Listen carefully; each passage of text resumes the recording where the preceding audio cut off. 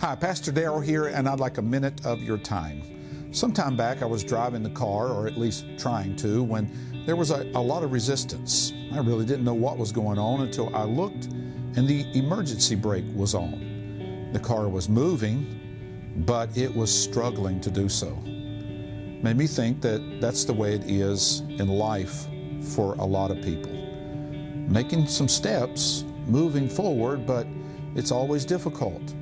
One of the reasons why it's so difficult is because they're pulling the past along with them. Now, I don't want to oversimplify this, but I want to say to you that the past can control your present and your future.